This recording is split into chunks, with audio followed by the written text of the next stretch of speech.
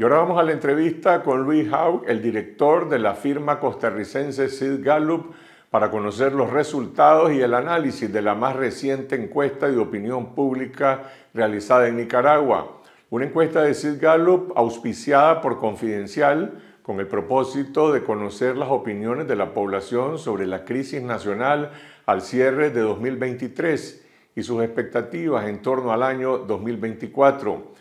Le preguntamos al consultor de Sid Gallup cuáles son las opiniones de los nicaragüenses sobre los principales problemas del país y sus expectativas sobre el futuro y sobre algunos temas del momento como la persecución a la Iglesia Católica.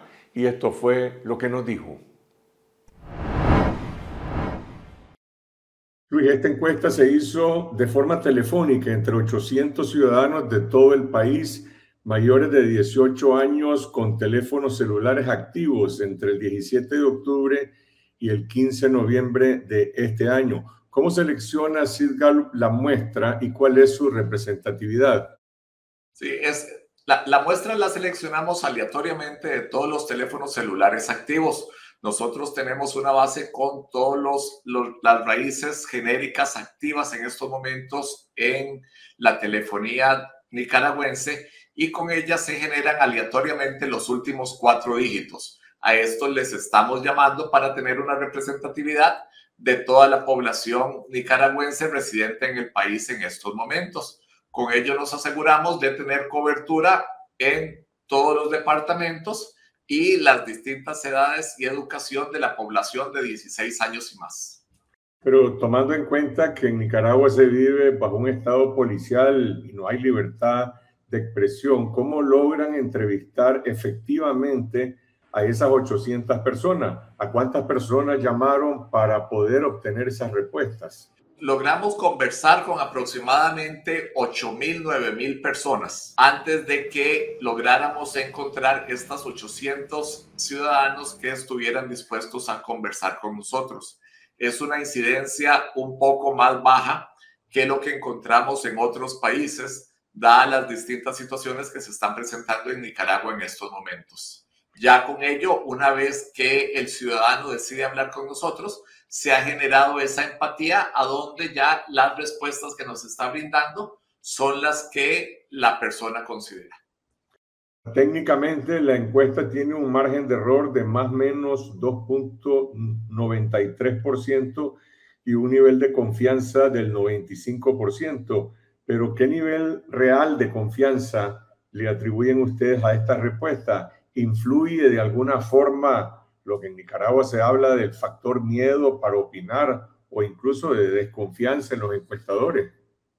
Definitivamente entra el factor miedo en aquellas personas que nosotros llegamos y conversamos con ellas y nos están rechazando la entrevista en esos momentos. Una vez que ya quien contesta el teléfono entra en la confianza de que sabe que somos nosotros, sabe que se le está llamando de un número en el extranjero, normalmente el temor se disminuye y se oyen ya respuestas honestas a las preguntas, pero todo el proceso inicial, como mencionábamos, aproximadamente de 8.000 a 10.000 llamadas efectivas. ¿Y qué quiero decir efectivo? Que ya alguien me contestó al otro lado, con el que hablamos y le dijimos que por favor nos dé una entrevista que le estamos llamando de Costa Rica, que es sobre temas generales.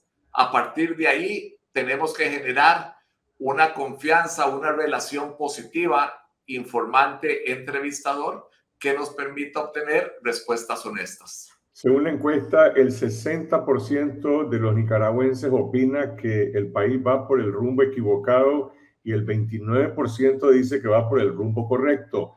¿Esta es una tendencia constante en otras encuestas o hay algún cambio en relación a los meses o años anteriores? lo que ya estamos viendo es un constante pesimismo en la ciudadanía de Nicaragua con respecto al futuro que les espera en el país. Ya hay un deseo permanente de poder salir de Nicaragua, emigrar a otros lugares, un negativismo con respecto a la situación económica de la familia, un negativismo con respecto a la corrupción que se percibe ahí en los gobiernos y en muchos de los casos también ciertas persecuciones políticas que se están viendo en otra gente. Cuando preguntan sobre cuáles son los principales problemas del país, la gente menciona en primer lugar siempre el desempleo, 24%, corrupción en el gobierno, 22%, costo de la vida y pobreza, 17%, crisis política, 12%, inseguridad, crimen y robo, 7%.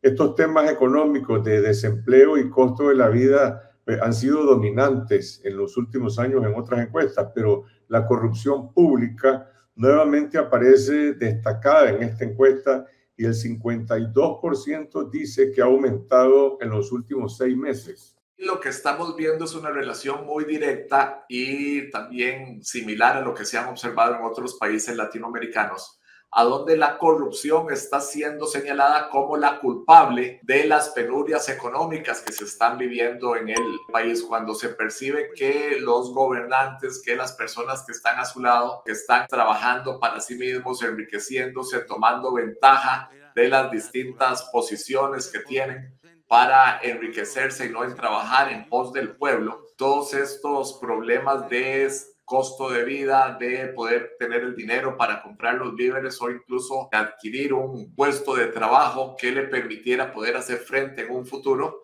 se tienden a maximizar, dado que hay un, se, se percibe hay un culpable responsable de que esto no lo esté yo logrando. Sin embargo, la respuesta a otra pregunta que pareciera indicar una tendencia distinta, la pregunta es, ¿cómo espera que esté el país en los próximos 12 meses? El 39% dice mejor, 33% dice peor y 28% dice igual. ¿Esa es una expectativa de mejoría económica? Tristemente no. Estuvimos hablando con ellos y después de las entrevistas también hacemos este, lo que llamamos entrevista a profundidad para entender un poquito mejor las distintas respuestas que la gente nos está brindando. Y algo que está sucediendo en Nicaragua es que mucha de la gente considera que ya estamos tocando, entre comillas, el fondo del barril.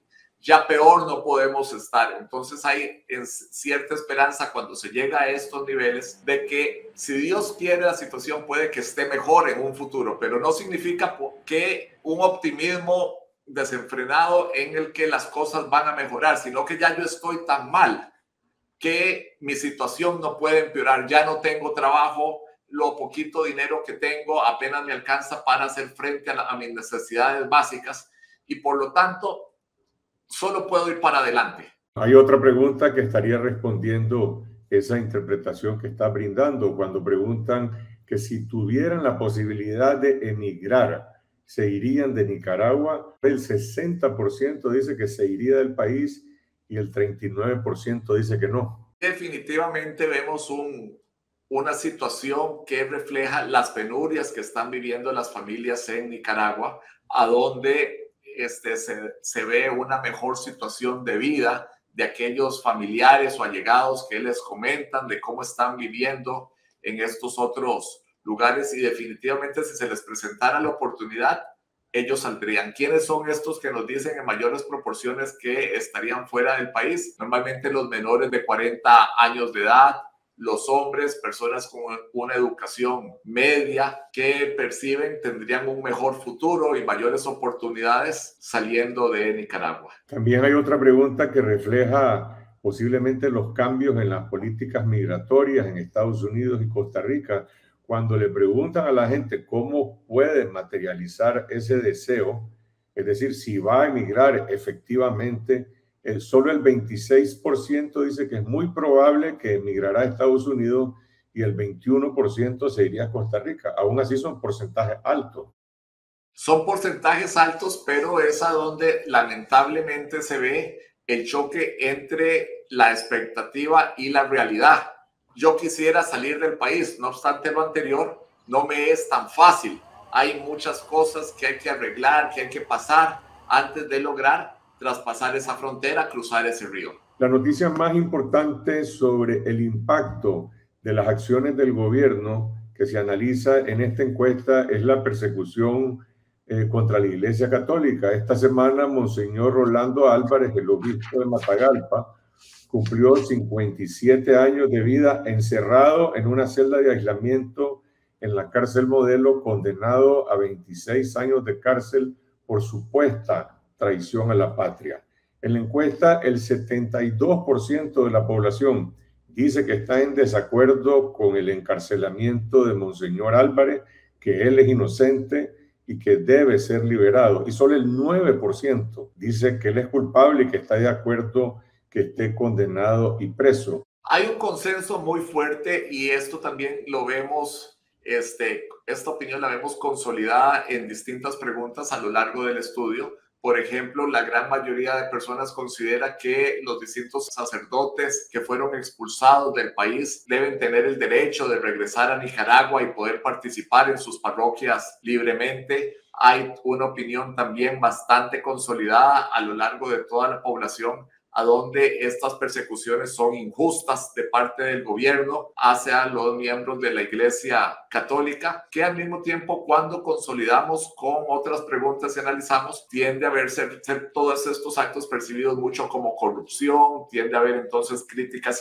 hacia lo que es el manejo de la presidencia y a donde se, se ve maximizado el deseo de querer salir del país porque toda esta corrupción, toda esta mala acción que están viendo los miembros de la sociedad en, sus líderes les introducen ese pesimismo con respecto a la calidad de vida que pudieran tener quedándose en el país. Cuando en esta encuesta vemos la opinión de solamente aquellos que simpatizan con el Frente Sandinista, 42% dice que está en desacuerdo que Monseñor Álvarez esté preso, dice que es inocente. Un 30%, 30.4% dice que es culpable. Y también hay un porcentaje alto, el 37%, que se rehúsa a responder a esta pregunta, pero la mayor parte de las opiniones dicen que es inocente. Esta es parte de las distintas variables que estamos viendo en el paso del tiempo con respecto al partido sandinista hace unos años veíamos una percepción de los simpatizantes del partido oficial muy consolidada, a donde había un apoyo casi mesiánico hacia sus líderes. Conforme han ido pasando los meses, el partido sandinista ha ido disminuyendo en número de personas que se declaran sus seguidores, pero al mismo tiempo también ya no observamos una opinión consolidada de todos ellos, sino que ya se empiezan a observar también ciertos resquebrejamientos de sus posiciones y críticas hacia los líderes de la agrupación. El caso de los 12 sacerdotes presos políticos que fueron excarcelados y desterrados al Vaticano, el 46% dice que es positivo que estén libres porque son inocentes, el 26% dice que es negativo, que deberían estar presos, y cuando les preguntan sobre el destierro, aumenta considerablemente la opinión de la gente que dice que el destierro es negativo, el 59%, dice que deben regresar a sus parroquias en Nicaragua y solo el 18% dice que el destierro es positivo, que los hayan mandado eh, fuera de su patria. Es a donde vemos la posición que este, comentaba anteriormente, de que ya el mismo sandinismo no está detrás de una sola posición, sino que ya se empiezan a ver diferencias con respecto a la evaluación del actuar de la administración. Sí, por el otro lado vemos una oposición bastante consolidada en su manera de pensar, a donde vemos una mayoría bastante relevante en contra de las acciones de expulsión hacia los miembros de la Iglesia Católica, a donde se ve un deseo de que ellos vuelvan, a donde se ve un rechazo bastante claro al encarcelamiento del Monseñor. Esta opinión sobre la inocencia de Monseñor Álvarez y la demanda de su liberación coincide también con la opinión favorable que tiene la población sobre él cuando se pregunta su opinión en una lista de personalidades públicas. En el cuadro que en este momento tienen ustedes en sus pantallas, Monseñor Rolando Álvarez, preso político, es la personalidad que genera mayores opiniones favorables con 47% y menores opiniones desfavorables con 33%. Y le siguen otros dos obispos, el cardenal Brenes con 46% y el obispo Silvio Báez en el exilio.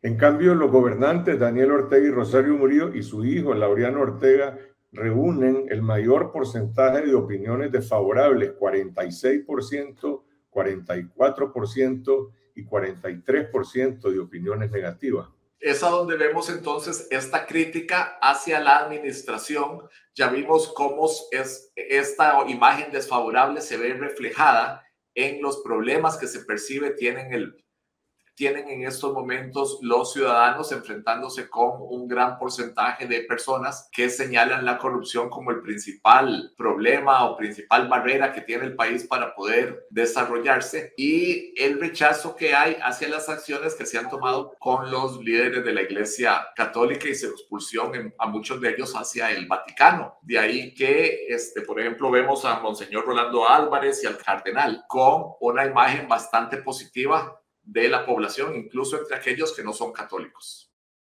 En el balance de estas opiniones favorables y desfavorables, aparecen tres expresos políticos con más opiniones favorables que desfavorables, Miguel Mora, Juan Sebastián Chamorro y Medardo Mairena, y también tres funcionarios públicos, Fidel Moreno, el general Julio César Avilés y Porras de la Asamblea Nacional. ¿Qué significa este balance de opiniones? ¿Es un acto de aprobación o desaprobación política? Es la imagen personal que tienen estos líderes, estas personas que son ya bastante conocidas por la población. No obstante lo anterior, y lo vamos a ver después cuando conversemos sobre los partidos políticos, son también personas que no han logrado consolidar una posición o un número de seguidores fuerte fuera de este, lo que es el sistema sandinista o la, la, gente en oposición o sin partido, dado que también tiene un alto porcentaje de opiniones desfavorables cuando se compara con las positivas que también reciben. En la pregunta específica sobre cuál es el partido político de su preferencia, ninguno obtiene el 67%. Creo que en encuestas anteriores ha sido incluso mayor el Frente Sandinista tiene 15%, en otras encuestas 14, 13, otros partidos legales 13% y otros partidos o movimientos 5%. Este 15% del Frente Sandinista ya es también una tendencia, ha salido así en encuestas anteriores. Ya viene definitivamente cayendo, es una tendencia que se ha mantenido en los últimos dos años, pues, que inició fuertemente con la crisis de los estudiantes a partir de ahí vemos cómo va paulatinamente disminuyendo, llegando ahora y manteniéndose en los últimos meses entre 14, 15, 16, 17%. Este, lo que estamos notando en estos momentos es que ya es incluso este, este 15% que estamos observando hoy ya tiene señales de que no está tan fuerte como lo estuvo en estudios anteriores, porque antes veíamos cómo había siempre un 15% o un número prácticamente total, similar a, lo que eran los seguidores del santinismo, opinando constantemente todo en favor del gobierno. Ahora ya dentro de los mismos sandinistas estamos observando que hay ciertas posiciones a donde ya no califican de una manera sobresaliente el actuar de sus líderes. Eso no lo observábamos anteriormente. Ya hay aproximadamente un 25% de quienes se declaran seguidores del partido oficial que empiezan a criticarlo. La pregunta sobre el futuro, ¿qué tan probable cree que en 2026 se celebren en Nicaragua elecciones libres? Poco probable, dice 39%, improbable 18%, probable 21%, muy probable 13%, no sabe, no responde 9%. Es decir, si agrupamos la respuesta eh, negativa o pesimista, el 57% considera que improbable que se celebren elecciones libres y el 34% dice que es probable. Algo que estamos viendo en estos resultados y que también se consolida con las entrevistas a profundidad que realizamos y otros estudios es la baja credibilidad que están teniendo las instituciones públicas en el país. De ahí que el Tribunal Electoral no se salva de esa percepción negativa y ya un 57%, o sea, tres de cada cinco personas consideran que es poco probable, o sea, ya tienen dudas sobre resultados de que se realice una elección limpia y con todos los estándares que esperaríamos en cualquier país democrático libre. La otra pregunta es sobre la sucesión en el poder del régimen Y la pregunta es, ¿qué tan probable cree que en 2026 se elija Rosario Murillo como sucesora de Daniel Ortega? Poco probable, dice 29%, improbable 15%, probable 25%, muy probable 19%. Si agrupamos esas dos tendencias, eh, son exactamente iguales. Improbable dice 44%, probable dice 44%, pero cuando vemos esos datos solo entre los simpatizantes sandinistas, la mayoría cree que es probable que Murillo sea la sucesora en un 57% versus un 26%.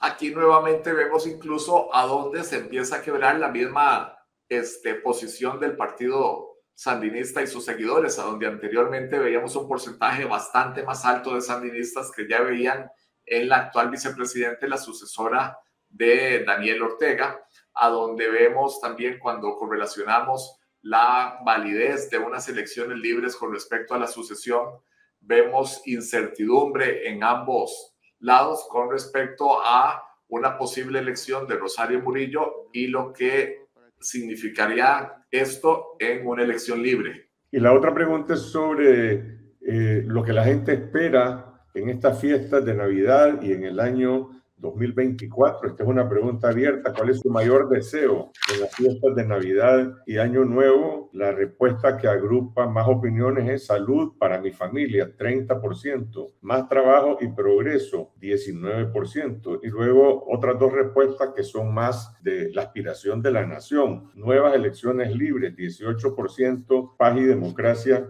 17% son los deseos que pedimos a fin de año en la famosa carta al niño que quisiéramos. Aquí tristemente también cuando pedimos salud y conversamos con los ciudadanos, especialmente aquellos de menores recursos, es porque ya la expectativa de poder estar teniendo los empleos y este, comida, dinero para poder acceder a las necesidades básicas del hogar, vimos están siendo difíciles y es por ello que comentábamos de que, bueno, espero estar mejor, pero ese mejor es porque ya, ya estoy tan abajo que no creo estar peor. Conforme vamos aumentando el nivel socioeconómico de las personas, es entonces a donde ya ciertas necesidades básicas del hogar las tengo relativamente cubiertas y es entonces a donde empiezo, empiezo yo a desear un cambio para el país que también directamente impacta en mi vida y en ello entra ya las este, elecciones libres, un cambio de gobierno, menor, menor corrupción, que con ello ya yo espero que no solo la situación bajo mi techo mejore, sino que a nivel general en el país. Y esto lo vemos especialmente en aquellas personas que no son simpatizantes de la agrupación oficial. Por último, una pregunta que tiene que ver con el entorno del país y es sobre el grado de libertad que hay en el país o por el otro lado, eh, de temor y de censura. La pregunta es, ¿considera que en Nicaragua se censura los medios de comunicación críticos del gobierno? Sí dice el 65%, no dice el 26%. Y ese es un porcentaje bastante similar a aquel que dice que tiene temor de hablar con los medios independientes. Cuando vemos la oposición a lo que es el Partido Sandinista, se observa represión de parte de los entes gubernamentales hacia medios de comunicación, hacia líderes políticos, hacia líderes de la Iglesia Católica, todos aquellos que están expresando una u otra opinión en discordancia con lo expresado por la pareja presidencial, se percibe pueden correr cierto peligro. Y de ahí entonces que definitivamente medios de comunicación no se ven con la libertad de hablar libremente lo que está sucediendo en el país, sea bueno o malo. Y sin embargo, la gente sigue eh, informándose a través de los medios independientes. Muchas de las noticias que se transmiten en Nicaragua, pues las obtienen a través de esos medios, porque los medios oficiales hablan de otra realidad y hay otros medios que están autocensurados. Definitivamente, cuando conversamos también, la gente se sigue informando en los distintos medios. Este, y mucha de la credibilidad se está teniendo de aquellos que este, son independientes, porque también recordemos la realidad que cada uno en sus hogares está viviendo.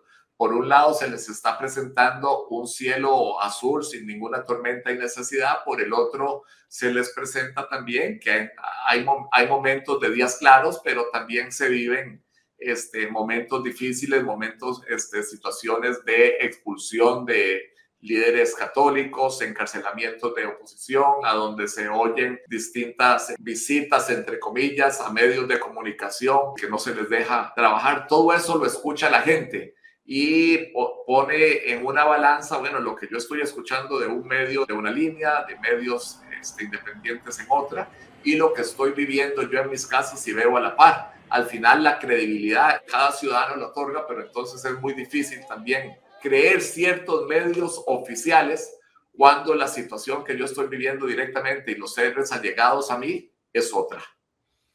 Gracias, Luis. Gracias por ver este video.